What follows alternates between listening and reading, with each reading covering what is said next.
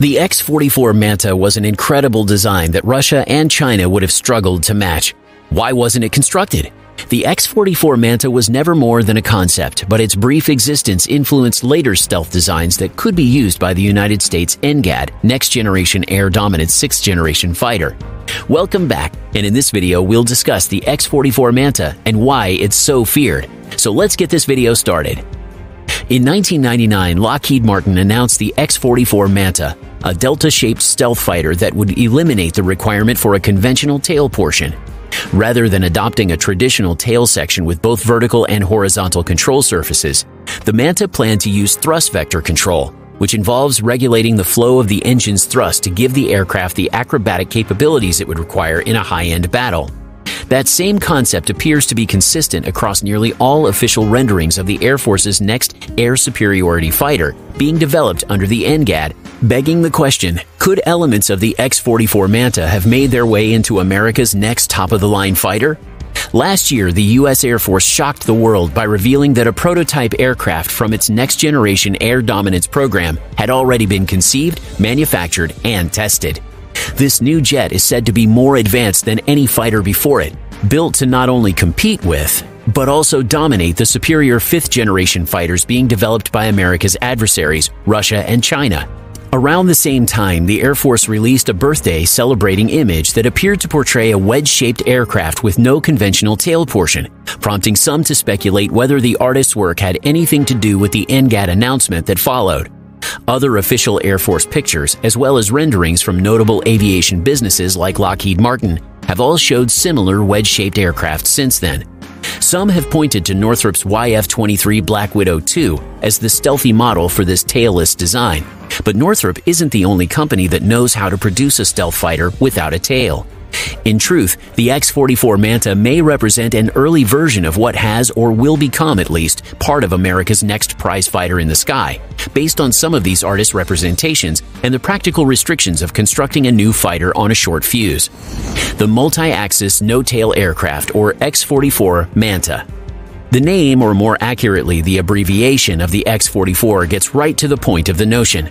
Some features, such as a conventional tail section with vertical and horizontal control surfaces, had become standard fare for a capable tactical aircraft after decades of rapid fighter development. While the F-22 and later the F-35 had slightly different tails than a non-stealth fourth-generation fighter like the F-16, the X-44 Manta intended to achieve the same maneuverability without all those tail surfaces. The aircraft's radar return would be drastically decreased without the tailpiece, making it even stealthier than America's extremely capable F-22. So, logically, Lockheed Martin teamed up with NASA to discuss how to make this vision a reality. Making an acrobatic aircraft that could avoid using its tail for handling would necessitate a heavy reliance on thrust vector controls to adjust the jet's flight path direction. The F-15 Active, a modified F-15 Eagle that used front wing canards, taken from the tail section of an FA-18 Hornet, and thrust vectoring jet nozzles to produce a fighter that could outperform the legendary Eagle in almost every appreciable way, had already had a lot of success with thrust vector controls on a high-performance fighter. In its most basic form, thrust vector control allows the jet engine's nozzle to be pointed or aimed. The nozzle aiming on some platforms, such as the F-22 Raptor, is done on a single plane, up or down. However, the nozzle on others, such as Russia's fourth generation Su-35, can move in 360 degrees, providing even more dramatic possibilities when it comes to fast-changing directions. In a head-on collision, the F-22 Raptor's thrust vectoring allows the pilot to point the fighter's nose and armaments down at an opposing jet as it passes by, while still pushing in the same direction. That same thrust vectoring capability allows planes like the F-22 and Su-35 to change direction significantly more aggressively than any sophisticated jet without thrust vector controls in a close-up brawl between two fighters striving to successfully turn tighter than the other to gain weapons lock. While the F-22 uses thrust vector control in addition to a more conventional tail section, Lockheed Martin recommended using the F-22 as a starting point for a new technology demonstrator that may be just as capable as the fighter aircraft we've come to know as conventional in recent decades. For its stretch delta design, the X-44 would have had enviable specs.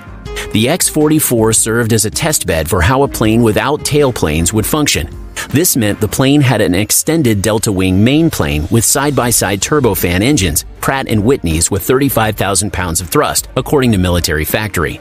With a 49,000 foot ceiling, the plane was expected to reach speeds of up to 1,500 miles per hour. With enhanced stealth capabilities and internal weapons bays, the design would result in lesser drag and increased efficiency. With a diverse load of Sidewinders, AMRAAMs, advanced medium-range air-to-air missiles, precision-guided bombs, and a 20mm internal cannon, the potential for a full payload of weaponry was tremendous. The X-44 may have carried more fuel in its overall structure, extending its range. An F-22 Raptor without the tail. Starting from scratch on an aircraft design didn't seem viable because the notion wasn't being pursued as a clean sheet fighter development program, but rather as a technology demonstrator effort.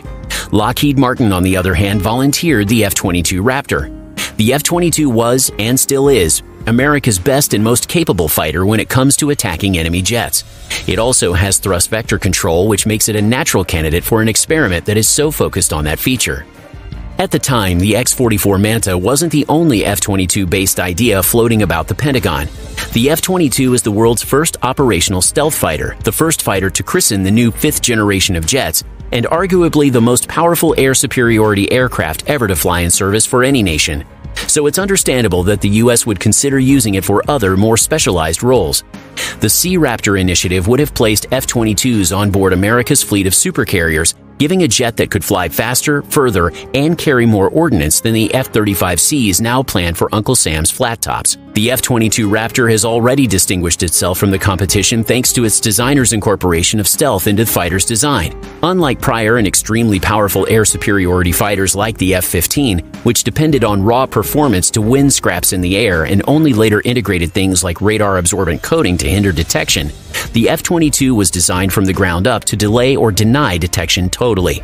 From there, the stealthy fighter's two powerful Pratt & Whitney F-119 engines could still propel it to Mach 2.25, and its thrust vector controls allowed it to pirouette away from any oncoming missiles that had managed to secure a difficult-to-come-by lock.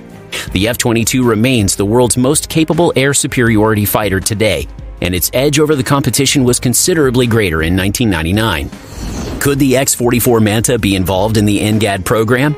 As with other NGAD questions at this stage, there's no way to know for sure whether the X-44 has been discussed in the lead up to the F-22's replacement being deployed.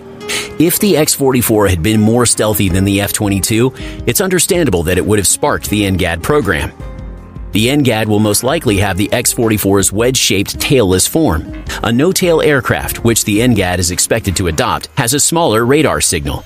According to reports, the Air Force has created a prototype of the NGAD and flown it. The Navy is developing its own NGAD program, the FA-XX, a sixth generation fighter to replace the FA-18EF Super Hornet. The most recent Pentagon budget request includes funding for this initiative. As a result, NGAD is most likely to develop from the X-44. The X-44 was designed more than two decades ago, and it remains to be seen whether the Air Force and Navy versions of the NGAD will both mirror the X-44. As a result, this is a back to the future example of sixth generation airplane design. Will the Air Force's next generation fighter be inspired by wedge shaped aircraft like Lockheed Martin's proposed X 44 Manta and Northrop's YF 23 Black Widow 2? Tell us what you think about it in the comments area below. If you enjoyed the video, please click the like button. We'll see you in the next video, and thanks for watching.